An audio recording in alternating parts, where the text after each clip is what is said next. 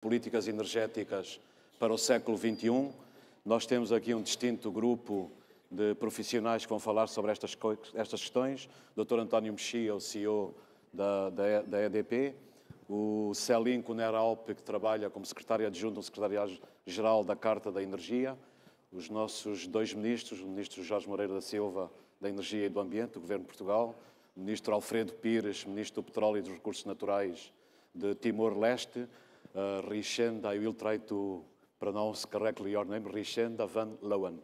Uh, a Richenda é a diretora executiva para a Energia e o Clima do, da Fundação das Nações Unidas, o engenheiro Carlos Gomes da Silva, o CEO da Galp, e o Dr. Alexandre Oliveira, que é da Ernest Young. Portanto, temos aqui um distinto grupo de, de, de, pessoas que vão intervir sobre estas questões das políticas no século XXI, das políticas energéticas. Nós estamos a viver tempos, por um lado, preocupantes e, por outro lado, fascinantes no mundo da energia. Temos assistido nos últimos anos à globalização do consumo mundial. No passado, o consumo mundial era dirigido sobretudo pelo Japão, Europa e Estados Unidos. Hoje em dia, 85% do crescimento vem dos países emergentes com a China à cabeça.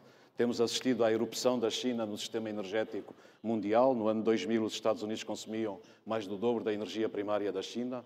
No ano 2009, a China consumiu 4% acima da, da energia primária dos Estados Unidos. Portanto, isto é um movimento tectónico, um movimento sísmico que está a afetar toda a matriz energética mundial. Obviamente, isto provocou um crescimento exponencial da procura. A indústria petrolífera, sobretudo a parte do petróleo e gás, tentou responder a esse crescimento da procura. Entre 2003 e 2014, em cada três anos, houve um investimento da indústria de 1,6 trilhões de dólares eh, para desenvolver a indústria e, fundamentalmente, criar novas descobertas.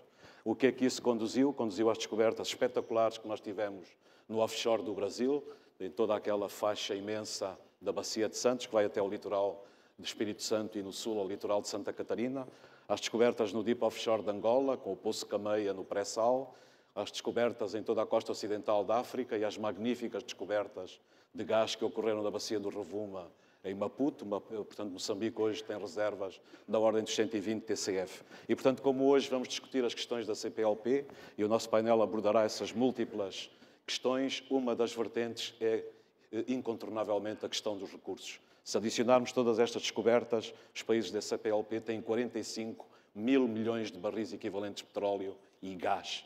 O que é que isto significa em termos de reservas? Se a CPLP fosse um país, era o sétimo país do mundo em termos de ter reservas de petróleo e gás. Em termos da produção, ela já foi de 4 milhões e meio de barris por dia entre 2001 e 2013, está a declinar. Atenção, isto é um sinal muito importante para todos os países da CPLP, porque é que a produção em Angola está a declinar, porque é que no Brasil está a subir, mas ligeiramente, com todo o potencial que existe, e portanto é uma matéria de reflexão. De qualquer maneira, se olharmos em termos globais, e como o Sr. Ministro Jorge Moreira da Silva acentuou esta manhã, 50% das descobertas mundiais nos últimos 10 anos foram em países da CPLP, sobretudo Angola, Moçambique e Brasil, e, portanto, é extremamente importante ver como desenvolver e aproveitar estes recursos. E antes de terminar esta breve introdução, queria referenciar uma coisa. Eh, a língua é muito importante, mas não é suficiente para criar uma comunidade.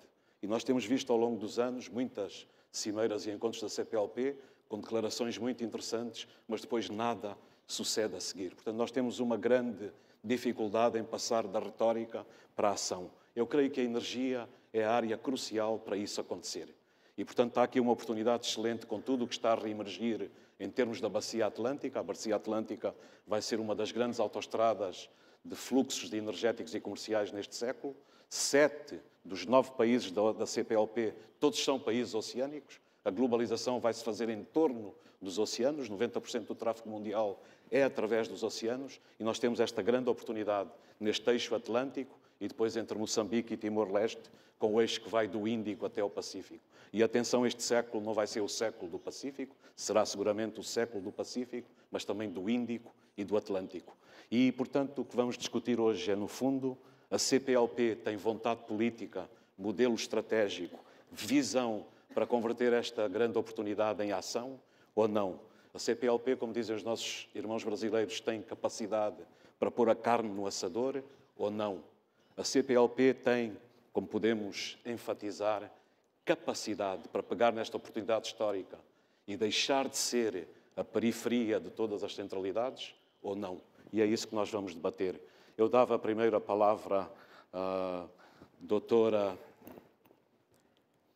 queria pronunciar o nome corretamente, Richenda Van Leeuwen, que é diretora executiva de Energia e Clima da Fundação das Nações Unidas. Please, Richenda, you have five, six minutes to address the conference. Um, thank you very much, and Excellencies, Honourable Ministers, ladies and gentlemen, it's a pleasure to be here um, this morning. I, I, wish I were able to address you all in, uh, in your native language of Portuguese.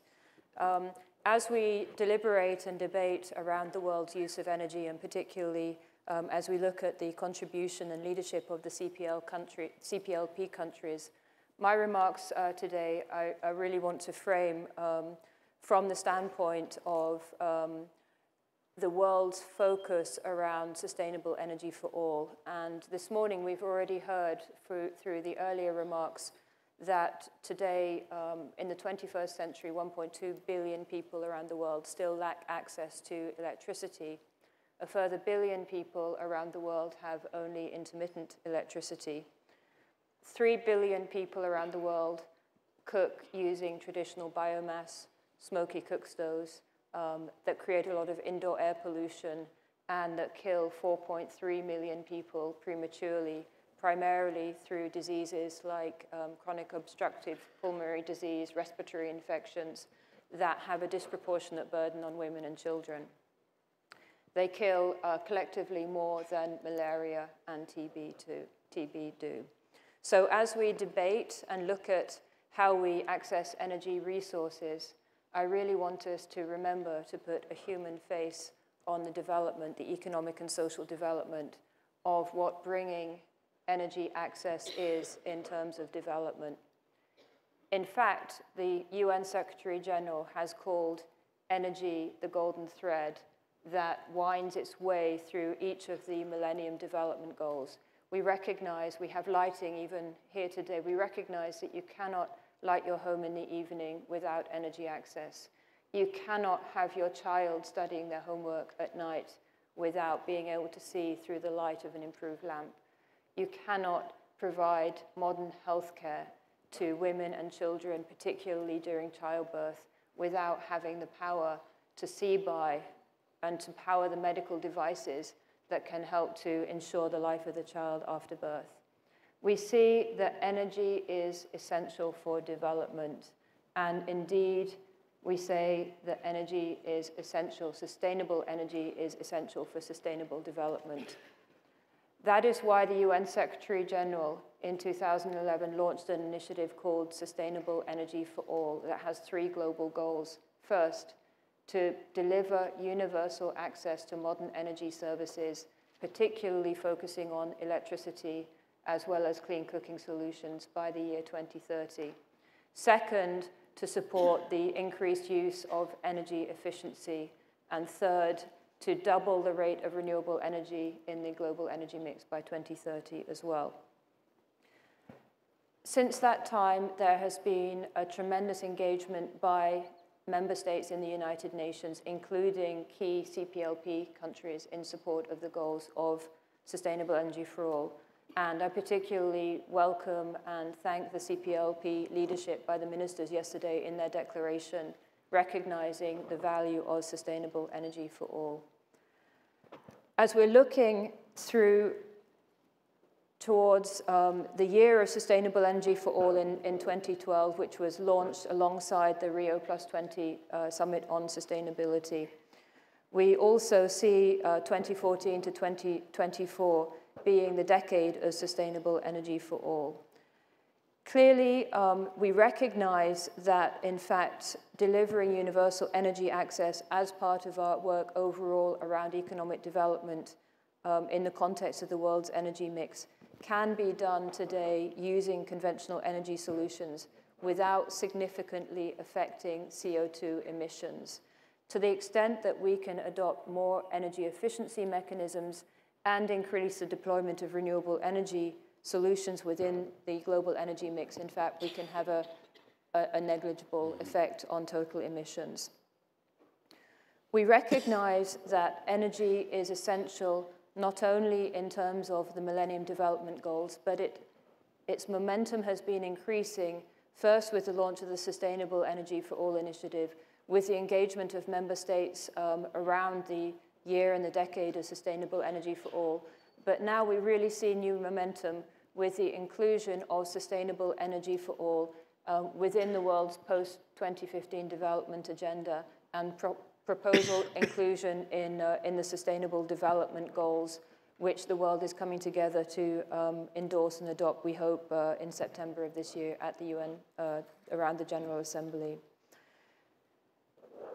We cannot neglect to keep a human face on our energy solutions, and particularly in terms of driving development.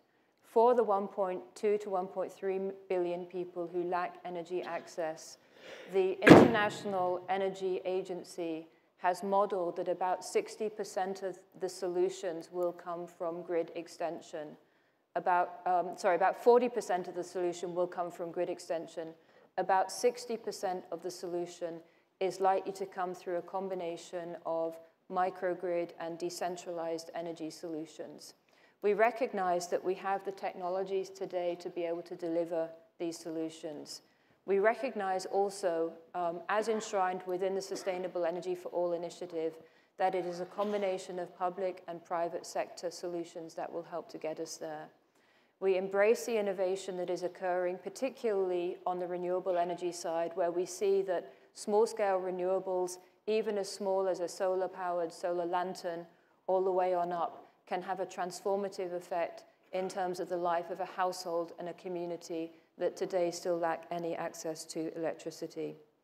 So as the world comes together to address this year um, our collective responsibilities around the global climate crisis, we recognize and welcome and value the urgent development issues that also need to be continually addressed at the same time, particularly um, through the elimination of energy poverty because the people who are most affected by energy poverty have actually contributed the least to the world's issues around the emissions that are causing climate change.